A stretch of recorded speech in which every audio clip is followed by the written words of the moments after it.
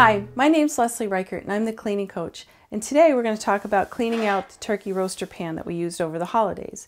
If you like this tip, you can visit my website, which is greencleaningcoach.com for more tips and tricks. So we've made our holiday turkey. We've got this ugly pan and it's probably full of a lot of grease and a lot of things that are stuck on.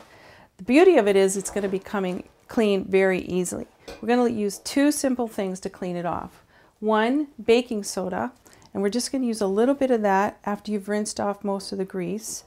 And this is going to act like a natural scrub. You're just going to rub it on the parts that aren't coming off.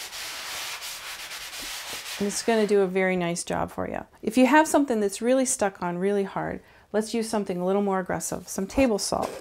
Now this will be, because it's nice and granular, it's going to work with the baking soda and scrub it as well as the baking soda doing the lifting.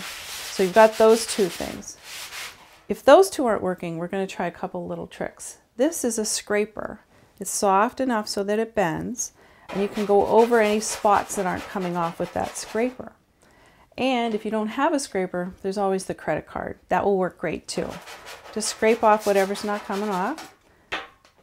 And then you want to just go over it, put it in some nice soapy dish soap in the sink, rinse it all off, you're ready to go. Don't put it in the dishwasher. It'll just make the grease that's on there stick on harder.